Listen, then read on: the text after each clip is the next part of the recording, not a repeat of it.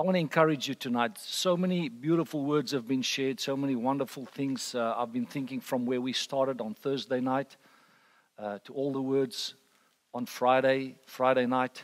Uh, it wasn't a great night last night. There was such a wonderful presence of God, uh, such a freedom to minister, uh, not, not, just from the front, but everywhere it was taking place. God's presence was just here. And then just the, the, sweet morning this morning. And, uh, and here we are. Can't believe that it's almost the end tomorrow morning. We, we, we're finishing off and we're going home. But it's been a good time. It's been a good time. I feel refreshed. I feel encouraged. Um, just the different angles and the different things that have happened. And so tonight, all I want to do is encourage you, you know, on this way, on this journey of advancing the kingdom of God. So, and, and just encourage you and tell you that I, kind of said on the, on the journey of advancing the kingdom of God, there are three things that you need to remember. That's what I want to share with you tonight. I want you to know that God will change you. Sometimes God will change your circumstance, and other times He will change nothing and still do it. I want to share that with you tonight. I want to take three people out of the word tonight and just maybe um, and hope that you'll find yourself there so that as you leave here, because you know, the big deal about this thing is when you are in a safe environment like this, amongst a whole lot of good Christians that are encouraging you, wonderful stories that we hear, uh, we get all pumped up and excited, and then it's Monday. Uh, and then we face life and reality and challenges. And I want to say to you, in the context of that, as we pursue that which God has assigned us to, as we get busy with that which God is doing within and through us, and always say without us, um, it is important to remember that God is willing to change you. He's willing to change your circumstance, and other times He's not going to change a thing and still and still do it. Um, I heard somebody said not too long ago, it's important that you, we understand that God needs us. And when we talk about the fact that God needs us, the first thing that we know is that God doesn't need anything. God doesn't need anything. God is perfect. Uh, there's nothing. God doesn't need to change anything because if God needs to change anything, he, he, should change himself, and he doesn't need to change himself because he's the best. He is perfect and wonderful. So God doesn't need anything or anybody, but God chooses to need us. He chooses to include us in the process and in the journey. And then we need to face ourselves. Uh, the important thing about God needing us, as I said, that He doesn't need us because He doesn't need anything. He chooses to need us, and then we need to choose to be connected and to be used by Him. And in the process of that, uh, we face these three realities that there are times that I need things to change uh, around me, some things that need to change about me. And then I've realized, even in recent days, there are times that God's not going to change anything. He's not going to change me nor my circumstance. He's just going to do it. And allow me to share that with you tonight um, out of three portions of scripture. The first one is out of uh, First Chronicles, uh, a story about an amazing young man um, called Jabez. First Chronicles chapter 4. I want to read you just one or two verses. And, you know, sometimes in life things can go terribly wrong and, uh, and, and, it doesn't work out, and, and we can get bitter and, and negative and full of self pity. Um, but when we, when we uh, choose to approach life God's way and from His angle and see it the way He sees it, He can make it sweet. He, he can change our circumstance and our situation, that which we go through, in a wonderful way. And, and here's a story about an amazing man. If you read the, the, the, uh, the, the chapter 4 of Chronicles, it is just a story of genealogy. All these names, name upon name upon name coming through. This one was begot by this one, that belonged to this one, that gave birth to that one. And then you get to verse 9, and all of a sudden it changes, and there's a, a bit of a description of a young man called Jabez. And, and this is what it says it says, let me just get there.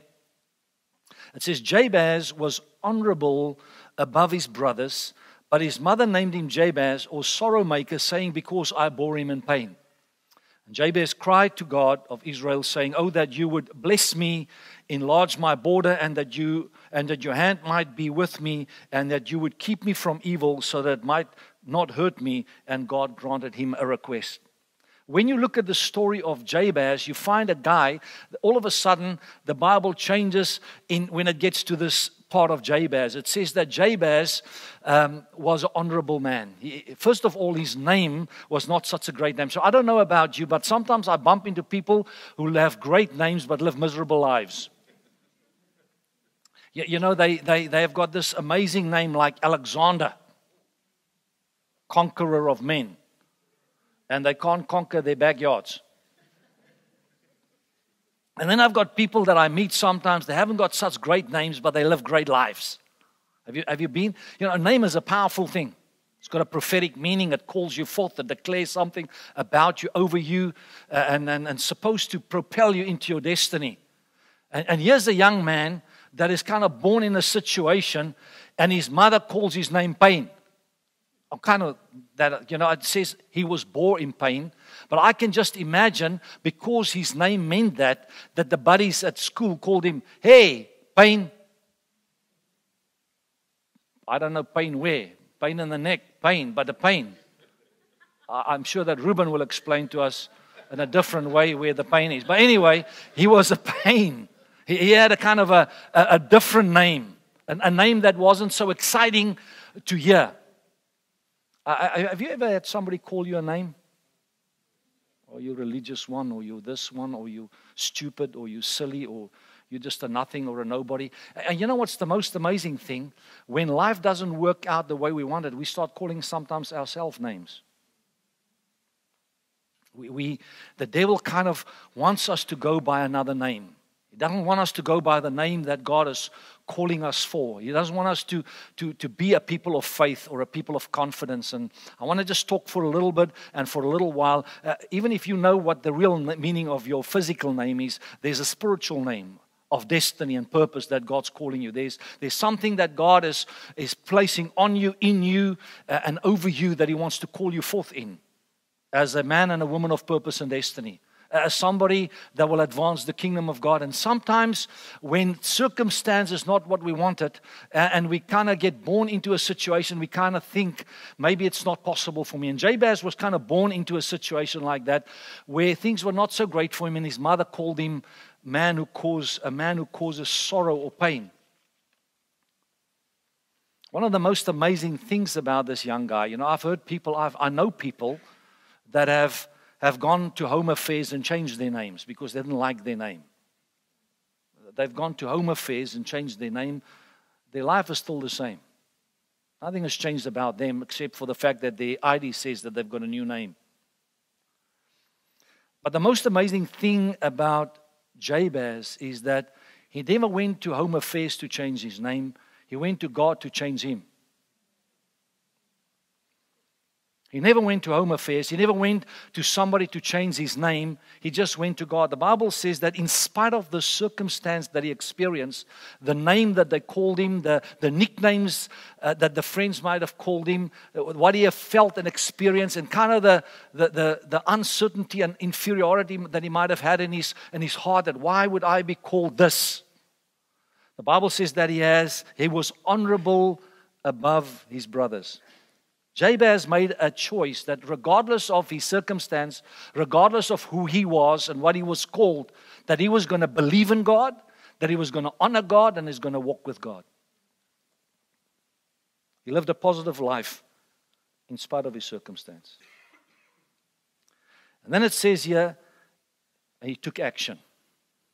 Jabez took action, not moaning and groaning, not feeling sorry for himself, not wondering why he looked the way he looked or the way why his mother called him what she called him.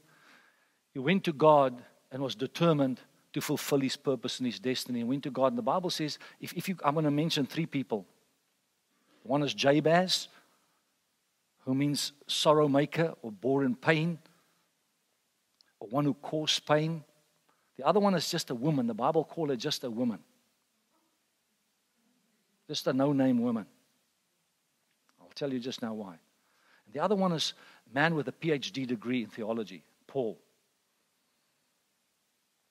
And these people are experiencing things on their journey in fulfilling their God given, because everybody is born in the image and the likeness of God. Everybody was made for a purpose. Everybody was designed so that they could give God glory, bring Him glory, and fulfill their God given purpose. And as you sit here tonight, you know, I was so blessed by that interview that I could have with those uh, young men, uh, young man and woman this morning in their honesty in their journey. That it doesn't matter what the enemy calls them, or at times what they call themselves, or what the world calls them, they were determined to call out to God to find their purpose and destiny.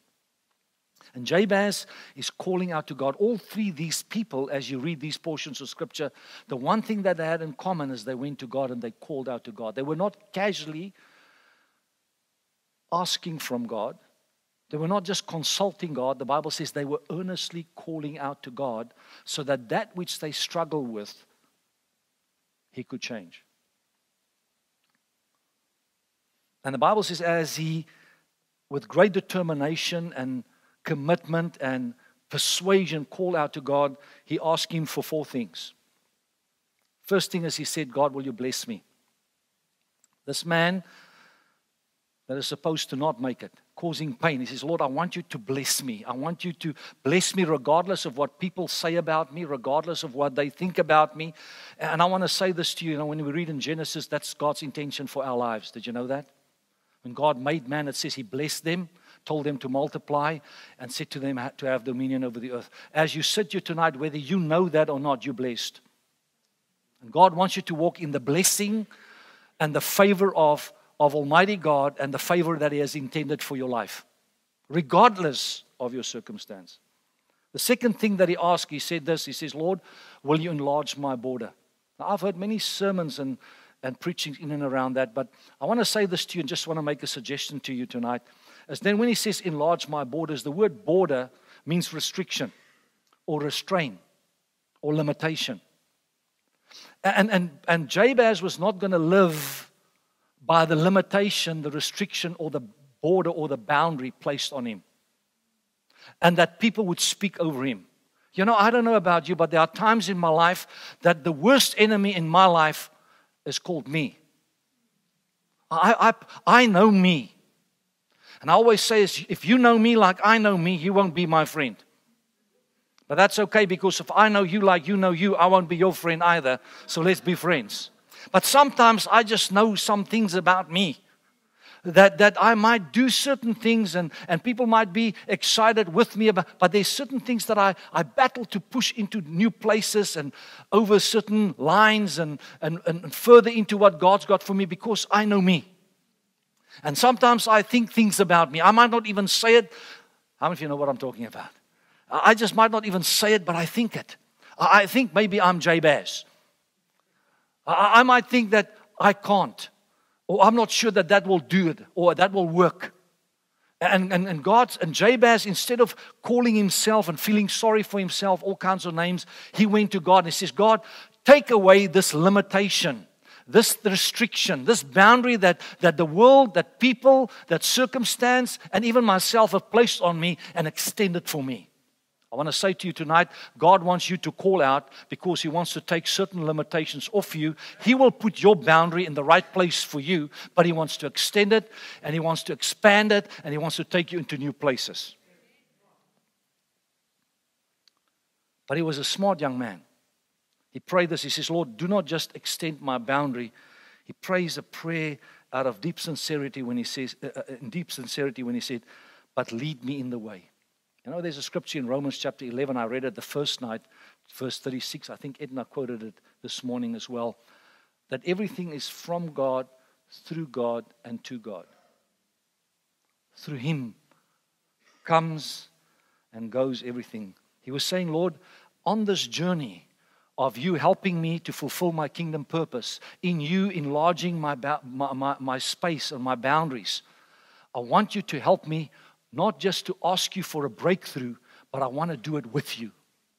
Can I give you an encouragement tonight? Can I motivate you tonight that when you hear your call and when you hear God's assignment or His mandate for your life, don't try and do it on your own. Make sure that He's with you and that you are with Him all the way. Not just that, make sure, listen to what he says in his next request. He says, Stay with me, Lord, all the days of my life.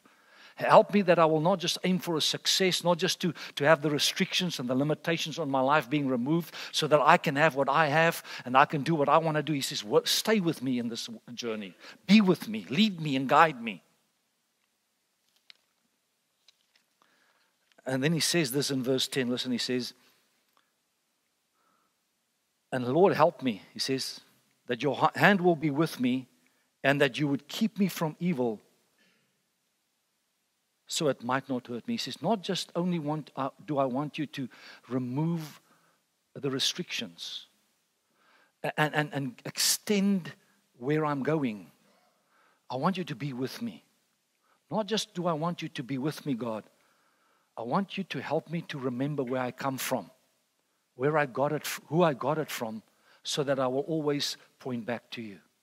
Don't let me get to a place where, because you help me, that I get to a place of success and it brings pride or arrogance, where it brings the independence, where, where, where that which I do is pointing to me or, pointing to the work that I'm doing instead of, instead of pointing to you. He says, I want you to extend my boundaries. I want you to be with me, and I want you to help me to always point people back to you.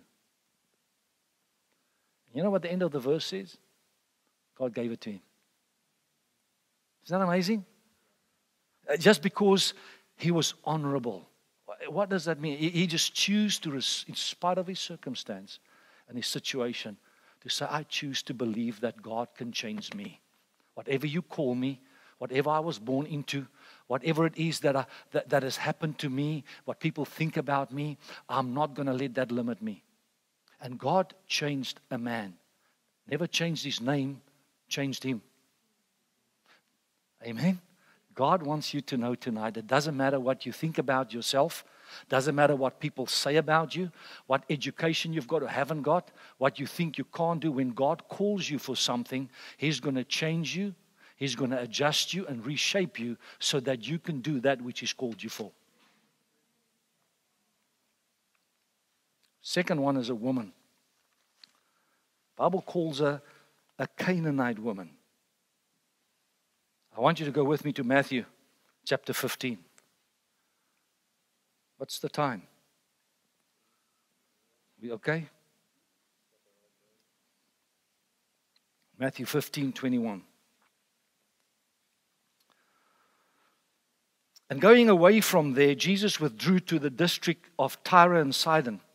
And behold, a woman, doesn't call a woman a name, it doesn't say who she was, it just calls her a Canaanite woman a woman who was a Canaanite from the district came out with a loud, troublesome, urgent cry. Listen, not a casual seeking or searching or just a, a, a conversation, but an urgent cry, a begging. Have mercy on me, O Lord, son of David. My daughter is miserably and distressingly and cruelly possessed by a demon. This woman is in a crisis. She has got a circumstance with her, around her, that she lives with on a daily basis. And the Bible says the urgency uh, uh, and the degree of her circumstance that she lives in and with causes her to run out to Jesus and scream out and shout and say, I cannot live with this anymore. Please help me. And the Bible says that he did not answer her a word. It's quite a strong statement, isn't it? It doesn't say that Jesus didn't answer her.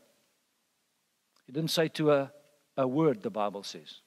He didn't answer her a word. That means he didn't even say to her, I'll talk to you later. Just give me five minutes. I'm just busy with something. Just give me something to think. I'm just going to pray quickly. I'll, I'll get back to you just now. The Bible says he did not answer her a word. And his disciples came because she was determined and she refused to stop. The Bible says the disciples came and implored him, saying, Send her away, for she is crying out after us. It's not Jesus that keeps people away from the church, it's normally his disciples. We do not know what to do with people that shout and scream and are desperate. We do not know what to do with people that are determined and, um, and have got some issues and problems and don't want to quiet down or, or, or tone down their voices. Uh, it's normally the church that, that don't know what to do with people that are different and, and otherwise and behaving differently. And the Bible says that all they wanted to do is get rid of her. And he answered, and then he answered her. When, when, when, when they wanted to get rid of her, he answered, and I was sent only to the lost sheep of the house of Israel. But she came and kneeling worshipped him and kept praying, Lord, help me. I want to say to you the second thing I want to talk to you about tonight is about a woman. And, and I believe that God just said a woman, and, and, and I don't want to get into the whole why the Canaanite, they were not very. Um, accepted by the people of God at that time and day that they live in. She was a, a somebody. And God wants to say to a somebody here tonight that I want to change your circumstance. You don't have to settle for what you're in because God cares about you and where you find yourself and is prepared to change that for you. But there's an important thing that we need to hear and see and learn from this woman tonight. First of all, uh, I want to say to you there are times when we call out to God and we don't get an answer immediately. We, we, we don't hear God straight away. And it's important that we don't get disheartened, this, all the disses that Edna's disappointed. It's important that we don't give up. Because there's a reason why God sometimes don't speak. There's a reason why God sometimes is quiet. I remember another story in the Bible that, that also somebody came out to him and said, Will you please come quickly because my brother Lazarus is sick? And the Bible says, because Jesus loved him so much, he stayed away for four days. And then the lesson that we need to get out of why God sometimes does not answer us straight away is simply for this later is greater. He, he wanted Lazarus to experience and the people to experience the full glory of God. And sometimes God doesn't answer you straight away because later is greater. The second reason why He doesn't always answer us is because He wants us to go back to the last time He spoke to us. You know, there are times in my life that I want God to say a new thing to me or say something fresh to me or, or, or tell me something that I haven't heard before, and I'm not getting anything from Him except that when I wait long enough, Go back to the last time I spoke to you. I, I prayed for somebody once. Um, I was in a conference in Durban, and a gentleman came up to me and said, I haven't heard God for, for ages. He said, It's just like God doesn't want to speak to me. I, I think I spoke on, about hearing the voice of God. And that night, as I laid hands on him and waited and didn't know what to pray and what to say to him, I felt the Holy Spirit said to me, Tell him to do what I told him a month ago to do. And I told him that, and he started crying. He said to me, I didn't think that's really what I would like to do. I said, That's what God would like you to do. And the reason why you haven't heard his voice is because you haven't done what he told you the last time to do. Sometimes these things are so simple, you need somebody else to help you to misunderstand it. I want to say to you tonight that God wants not just to change things in you so that you could be fully you in the context of who He created you to be, not for self, but for Him, to fulfill His kingdom purpose, to, to, be, to become the person that He's designed you to be to advance His kingdom. He also wants to change your circumstance so that you could live above it, beyond it, and free from it. The third reason why He didn't answer straight away is because sometimes God wants us to be determined not just to get what we want, but to break through in what He's called us for. He said to her, It's not good for me to give the bread of the children of Israel to the dogs. That's a quite a strong statement. Whichever way you read it, theologians debate about what it exactly meant and how we approach it. Some people don't like to preach about it. Well, that was quite a strong statement. But you know what's an amazing thing about this? that she does not allow any statement or anything being said stopping her from getting what she wants. Sometimes God wants to see whether we will seek Him and push through for Him because I don't know about you, but sometimes I'm just comfortable in some of my misery. I, I don't always want to break through, I sometimes just want things to be better. Have you ever been in a place like that? Sometimes I'm just happy with what I'm experiencing in and around my life. I just want things to be better because I, don't want God to answer me too radically or too strongly. I don't want God to tell me too many radical things in case I have to do some radical things. And God's silent because He's looking for somebody that says, I will seek you and I will knock until you open. So, so my question tonight to you is how do you handle it when God's silent? Do you understand that sometimes later is greater? Have you gone back to the last time that He's spoken to you? And how do you handle silence, rejections, and a, a little bit of insult or offense? Because if the devil could get any of those things into your head and mind and say, God is not interested in you, he doesn't want to speak to you, he'll get you off track so quickly that by Wednesday you'll be depressed and need another conference. Bible says in verse 25 this and this, but she came kneeling worshiped him, and kept praying. Can you see her attitude? Can you see this woman's attitude? This, this unknown woman that nobody knew and didn't like, and the disciples tried to get away from Jesus and away from her kingdom purpose. The Bible said she, she knelt down. Her posture was humble. Her attitude was that of humility. Her heart was that of a worshiping heart that said, I refuse to get offended with God. I refuse to let some Christian disciples put me off track and say to me, I don't belong here and I shouldn't be here. I'm going to keep on worshiping Jesus. There's things that the devil will try to do to you through people, through church, through circumstance, through situation to get you off worshiping God. He wants to get you. Ruben shared this morning, I got offended with God. I got offended with the church. You know, and we understand that we need to reach out to people when they get hurt, but listen, don't get offended. Don't allow the devil to get you there to a place where you don't break through because of circumstance, situations, or what people say to you. Bible says she knelt down, she was humble, she kept on worshiping, and she kept on praying. I want to show you a most powerful prophetic apostolic prayer Lord, help me.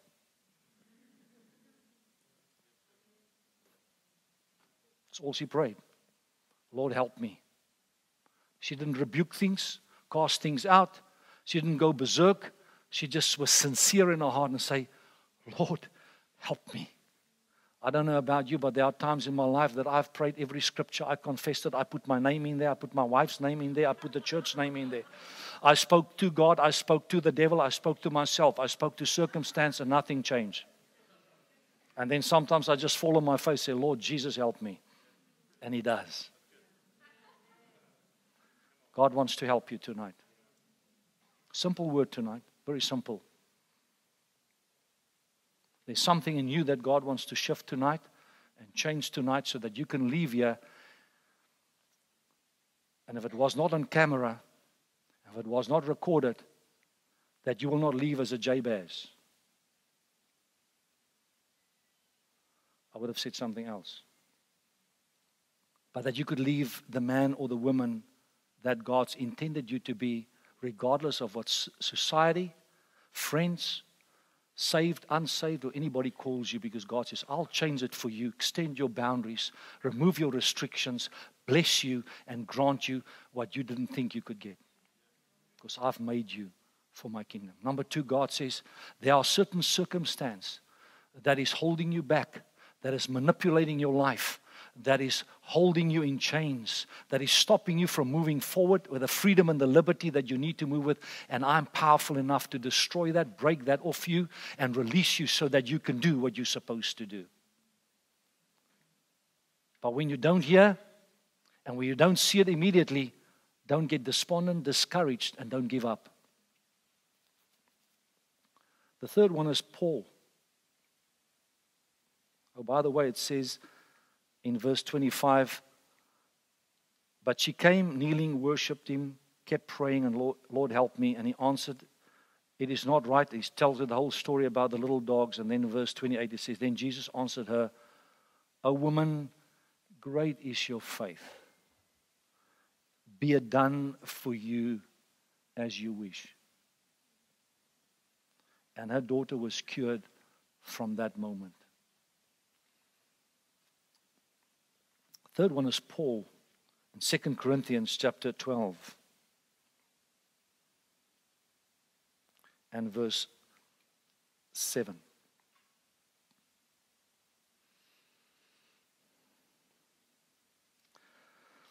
Paul is writing, he says, and to keep me from being puffed up and too much elated by the exceeding greatness and preeminence of these revelations, there was given to me a thorn, a splinter in the flesh, a messenger of Satan to rack and buffet and harass me, to keep me from being excessively exalted.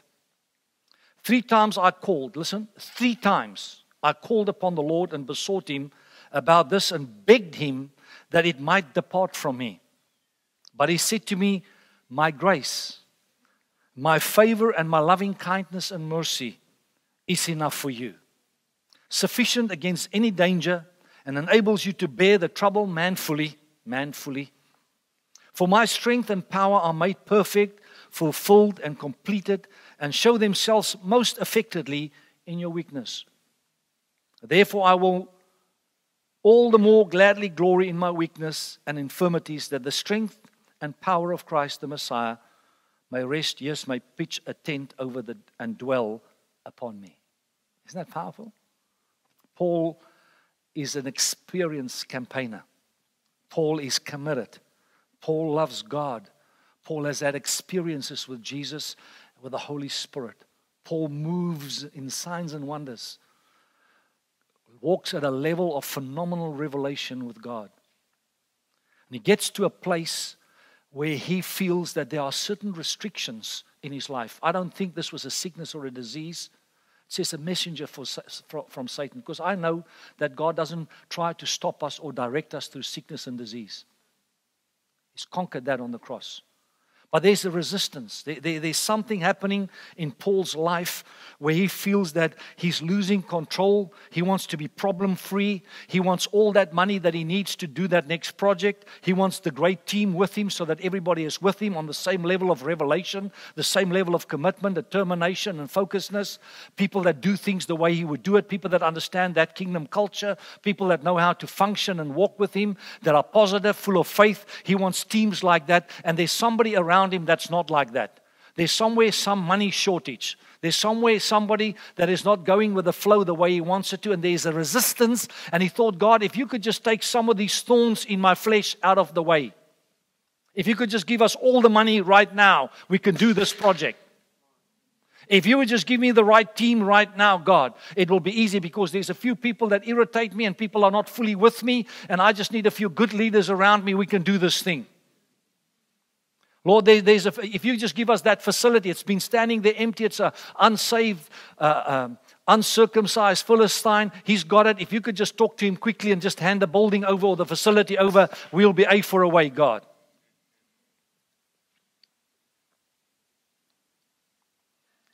Lord, I'm not fully in control. I'm not fully in charge the way I would like to be. And you know, you've spoken to me. You've given me vision. You've given me prophetic insight. You've given me an apostolic mandate. I know where I'm going. And if you could just take a few of these silly things out of the way, we can get there quickly. And God says to him, Paul, I'm not going to do it. My grace is sufficient for you. The grace of God's amazing. You know, I've, I've recently discovered afresh the grace of God. I, have been struggling with some things. I've, I've, I've walked through a season where I couldn't understand where, why so many of the things that we've been promised by God, amazing prophetic words, in certain areas on the brink of breakthrough, hovering at certain places, at, at, at, in situations where we just know it's, it's just like one step away from, from something radical and, and awesome happening, and yet it's just not happening. times where, where we want to do things and we know as a leadership or eldership that, that God has kind of said to us, yes, you, you can pursue that development. Land has been given and, and an agreement that we should do things, but we just can't do it. We, we just can't seem to take that one step where, uh, where, where, where it's just flowing. And frustration begins to build up. And I, and you know, you look around and you, you blame the economy, or sometimes you blame people that are not giving, or people that are not faithing it with you, or people that are not leading with you the way they should. And you just want certain things to adjust and change, and, and it doesn't.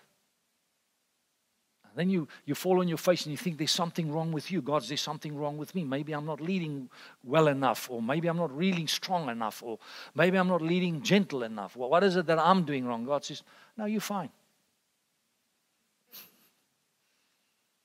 And then you try to pray, change the circumstance, and God's not changing. And He says to you, My grace. The, the grace of God is not just something that saves us when we're in trouble. The grace of God is Christ. It is God's answer to our problem. It is God coming in the form of His Son to pay the full price in something and for something that we don't deserve at all, and it does not allow us to have any share in it, but to receive it. When God says, by my grace, He says, I'm doing it all by myself. So that you will know that there is nothing that you can do to get this. Otherwise, it is your righteousness, it is your effort, it is what you think the right thing is to do. It comes through your. I was standing in Australia after I just gone to visit my son and attended a conference there and just spent some time with friends over there. And I was standing in their home the one morning and I said, God, why is it that we are just not breaking through? Why is it that we are just always on that edge, but we're just not there? We, just just a few small things. You've, you've done some great things in the past, and, and yet we're stuck with small things right now. Right there, as I was standing in the shower, talking with God through my thoughts, brushing my teeth. It's amazing how God can engage with us when we are not standing on our knees or we're not walking the floor, shandai, rondai, tai my bow tie kind of thing, you know. Resisting devils and demons, proclaiming things, declaring things, quoting scriptures. We're just kind of brushing our teeth, thinking prayers to God. And I said, God, why is it that it's not happening? And God, I felt the Spirit of God said to me, How did you get here? I said, I, I got here by your goodness and your grace. He said, What makes you think that you're going to get further any other way? I, I said, No, I know. I, I know there's no other way. And God said to me, So what are you doing? I said, No, I'm doing nothing. I'm just committed. And I'm faithful. And I'm a good son. And I'm a good leader. And I'm determined, God, and I want to keep the people excited because, you know, we're going through difficult times and the economy is bad and people are oppressed and depressed. And I'm, I'm encouraging them and motivating them. And I, and I want to speak faith and, to them and I want to declare things over them. And, I, and I want to, I'm determined. And God said to me, You're right, you know, you are determined, you are committed, you are faithful and you're a good leader. God doesn't even tell me that I'm a bad leader. Can you imagine that? Tells me He loves me. He says, but the quicker you call your determination, your commitment, and your faithfulness, self righteousness, dead works, and pride, the quicker you and I can move on. I say, God, me. I'm, I'm humble, God. I know that I got you just by your grace. And, and, and then I got explained it a little bit to God because I think sometimes God doesn't understand everything exactly the way He should. And, and maybe He was busy at a certain time when I, I was busy with. I said to Him, God, um, I'm 56 now. Surely by now I should know certain things and understand certain things and, and know how to apply some of these wonderful principles, and I'm, I'm, I don't have to lie, fall down and lie over and just take it the way it comes. I'm, I'm, I'm determined and I'm committed and I'm, and I'm faithful and I'm trying to motivate your people here. And I heard the Holy Spirit say to me, the quicker you could call it self righteousness, dead works, and pride, the quicker you and I can move on. Because if you're not, you're going to get more determined, more committed, more faithful, and more loyal. And whatever you give more is not going to do it for you. I said, God, there's just a few small thorns that you just need to remove here, God. You, you, I mean, I'm ready. I know I've got, there are five prophetic words that are so prominent. I know exactly what you said. I know exactly what you're going to do. Uh, Lord, I know exactly. I'm a kingdom man. The word even says in John 16, it says, I will give you my spirit. He will lead, live in you, will lead and guide you in all truth, and he will show you things to come. I, I know the things that are coming. I, I'm excited, God. It's to me, you don't know. You can't get you there and you can't get the church there. You can't pray the church there. You can't motivate the church there. You can't convince the church there. You can't prophesy the church there. You will only get there by my grace. And I said, But don't you want to share some of the stuff with me? And he said to me, No.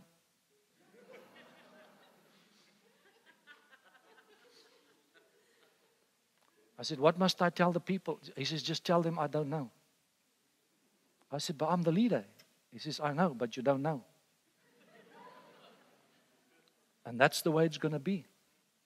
Because every time that you do it out of what you think it's right, and you think you should have the answer every time, it becomes self righteousness.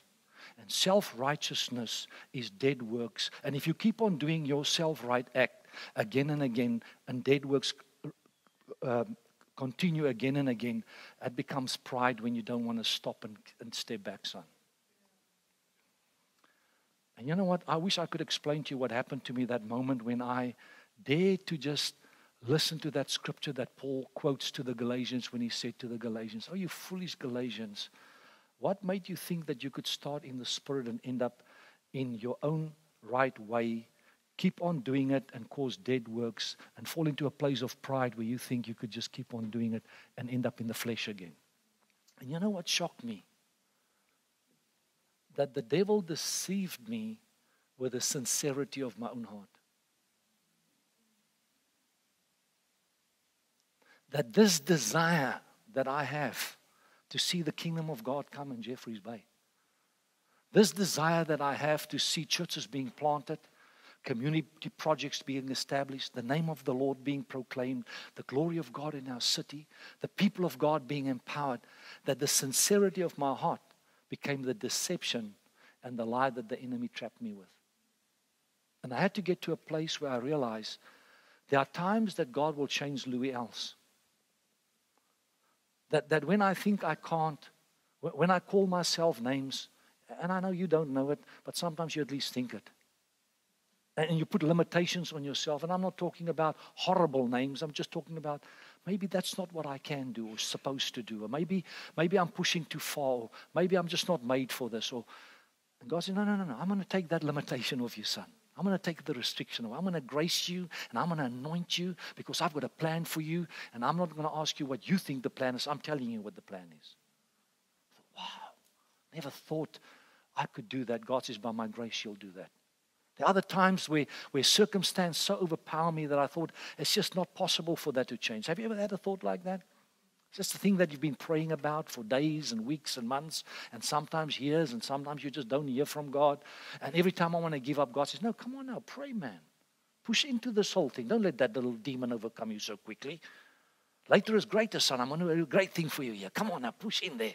And I knock and we push in and people pray with us and believe with us and stand with us and wow devils fly and demons leave. And then there are times that I come out of that thing and I say, Do you know who I am? I'm Jabez. I cast out devils and demons. And then a little thorn, a little thorn just messed my life up. And I said, Come on, God, we can do this thing. And God says, We are not going to do it, son. I'm going to do it. I'm going to do certain things with you, certain things in you, certain things through you, and other things just without you. And if you don't have that perspective and understanding, you'll get despondent, disheartened, and discouraged. All the disses that Edna spoke about this morning. And you know, I don't know what we were going to do tonight. And I was wrestling with this word tonight. But I really believe God said, That's all I want to say to my people. Because I don't want you to leave in such a high and with such an excitement. And that by Monday, that you think God can't change you. That by Wednesday, some devil or demon that's holding you down somewhere by your ankle or in your business or in the church or at your household, or sometimes when you get back with all the kids, that you think it's impossible, this can't change. God says, I'm going to change it for you. And the other times that you get overexcited and over enthusiastic, and you think because you called and because you got a purpose and God must do it through you, and he's, he, he just needs to remove a few. And God says, No, I'm not going to do it through you. I'm going to just send somebody from out there. And my righteousness, the way that I think, listen, my righteousness, the way that I think is right, for this circumstance or for this situation. I will appoint. We've just recently had a situation where we were challenged, uh, uh, and there were so many opportunities where we could speak what we know is right. And God said to me, You will not say a word.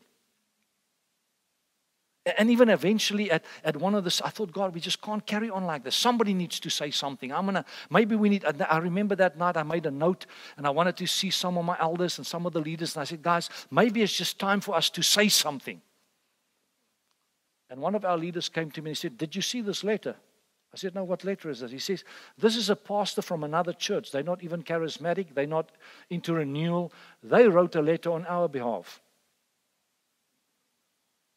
to address the issue. God says, That's my righteousness on your behalf. So that you don't have to fight it, so that you don't have to defend yourself, so that not even when you write sound self righteous.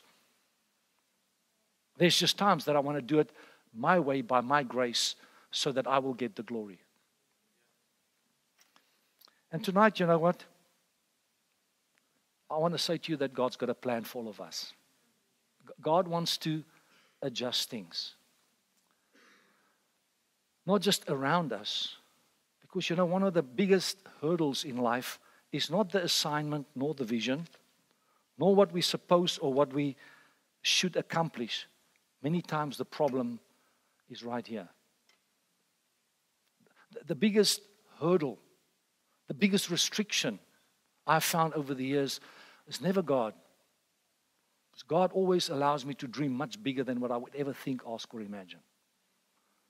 I've realized over the years that the devil is not the problem.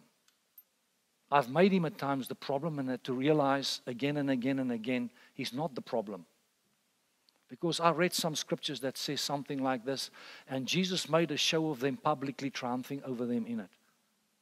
Every demon, every principality, every power, every big shot spirit that you can shout, call, or name, or try to show its face, or blow its bad breath in your, in your nostrils.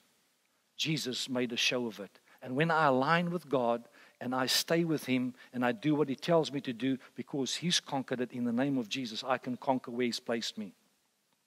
We have faced principalities. We have faced demons. But because I know God planted us, because I know I'm aligned with God, I'm apostolically aligned, I'm aligned with leadership around me, and I'm aligned with the vision that God has given us, we have seen victories and we have conquered things in the name of Jesus by His grace that I never thought was possible. I realize God's not the issue and the problem. He wants you and me to go places where we could never imagine for ourselves. I know devils and demons are not because Jesus has dealt, for, dealt with it. I know that people had no right to stop us because they're not the Lord of our lives. I've come to understand that the biggest problem in my life, most of the time, is me. The way I walk, the way I pray, the way I believe, the way I talk and walk, the way I I, I align myself or don't align, my, align myself, the way I respond when I don't get the answer that I want at the time that I want it, when I get some thorn in my flesh and I, and I try to deal with it and, and do it my way, I realize most of the time I'm my problem. And that's why this word might not be so important to you, but it's important to me. Because I say, God, I want you to keep on changing me so that I can allow you to stretch the boundaries, remove the limitations, and walk into what you've got for me in the right perspective. I, I want to walk where Paul says, He says, Don't think of yourself more highly than what you ought to. I'm not talking about self promotion. I'm not talking about self confidence. I'm talking about God's design and purpose for your life. I'm talking about walking in that place of humility that Jabez did. Lord, I don't want to do this thing on my own. I want to do it with you. Paul, Paul had the revelation of that. He says, In you I live and move and have my being. I don't do this thing outside of you. And when I get to the end result, may it always point back to you. That's the Jabez change I want. Secondly, I, I, want you, there are certain circumstances that God says, I'm going to remove it so that you can move freely and boldly and confidently because this is not about what you want and don't want. It's about my kingdom advancing. And I want to create space and I want to advance it and I want to establish it. And I'm going to remove some circumstance for you. And lastly, there are certain things that you need to get out of the way with. For, so I can do what I, I can do best without you. By my grace and by my power. Amen.